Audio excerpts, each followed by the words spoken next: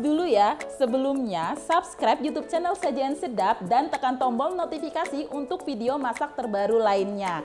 Kalau kamu suka video ini, langsung like, komen, dan share ke sosial media kalian semua ya. Yuk lanjut nonton videonya. Bikin bolu kukus mekar yang cantik cek.